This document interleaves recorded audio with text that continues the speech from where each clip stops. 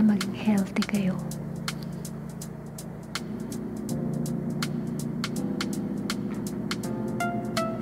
Sarap.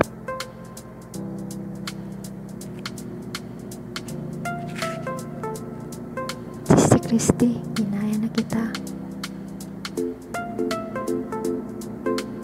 Lemon Challenge. Susunod dadala kita ng isang sakong lemon pag nahinog na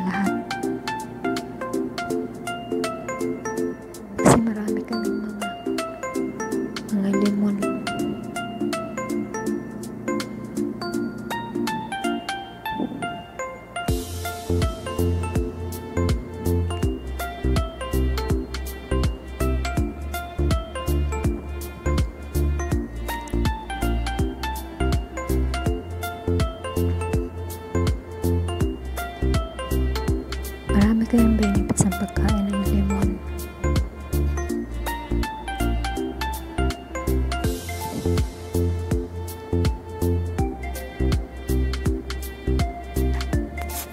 Benefits nito, pinapakilig ka. Ayoko na.